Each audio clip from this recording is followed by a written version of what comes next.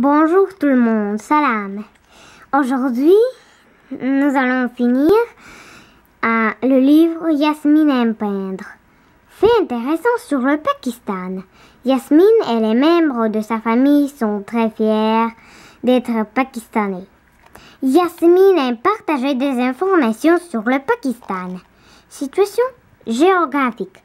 Le Pakistan fait partie de l'Asie. Il est bordé par l'Inde d'un côté et par l'Afghanistan de l'autre. Capitale. Islamabad est la capitale du Pakistan. Mais c'est Karachi la plus grande ville. Sport. Le Pakistan est le plus grand producteur de ballons de soccer fait à la main du monde. Nature. La plus longue rivière du Pakistan est l'Indus un type de dauphin très rare et et fabrique un signe fleuri.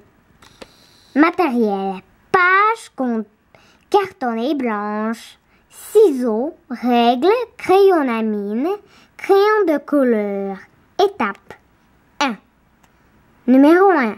À l'aide d'une règle et d'un crayon à mine, trace un rectangle de 5 cm de large et de 15 cm de longue.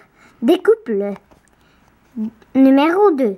Sur une autre feuille de papier, exerce-toi à dessiner des fleurs en suivant les étapes suivantes. numéro 3. Dessine 3 ou 4 fleurs sur ton signet, selon de la taille de tes dessins. Amuse 4. Numéro 4.